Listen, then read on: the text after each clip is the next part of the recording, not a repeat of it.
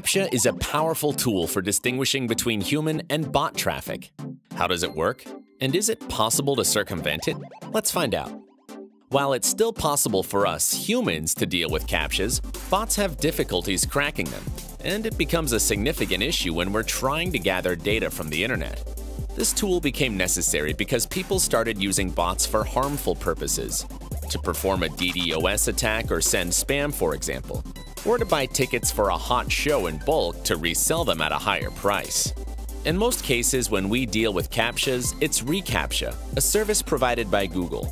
So only if the system is suspicious of you, it'll ask you to perform an action to prove you're not a bot. Sometimes it's an image or just a simple checkbox, but robots can't pass this test. Why? It's in the way we move our mouse. A human can never move a cursor in a straight line because our hands are always a bit shaky. reCAPTCHA has also evolved to the point where it doesn't need any tests to understand you're not a robot.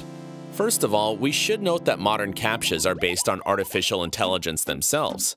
That's why it's rather ironic yet logical that the very same artificial intelligence is used to let bots solve CAPTCHAs. Image recognition helps robots see the same patterns we do, so by adding an image recognition tool to your scraper, you can help it avoid getting blocked by CAPTCHAs and enjoy smooth data gathering.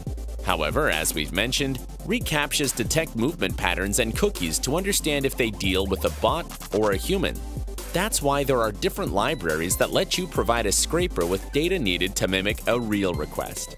Yet, if you let your scraper run without proxies, even all the fancy add-ons won't do much because all requests will come from the same IP address. And that's a clear indication of robot activity. To address this problem, use residential proxies for effortless data gathering to automate IP switching and make sure websites don't become suspicious of your scraper. Residential IPs are an ideal tool if you want to bypass reCAPTCHA Infatica's rotating IPs belong to real users, and they are rotated every time the given IP is no longer idle.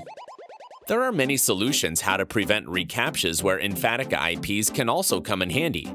A user can start with sending requests using data center proxies and then route it to real or residential IPs while crawling sensitive pages. This method can ensure higher success rate and also decrease costs of using exclusively residential proxies. Another way is to send requests with a different geo-targeting. For example, you can change IP from one location to another when scraping an e-commerce website for product pages, which can work to overcome reCAPTCHA. CAPTCHAs are definitely a big obstacle to efficient data gathering, and that is why it is important to constantly improve your methods to prevent and solve them if they appear.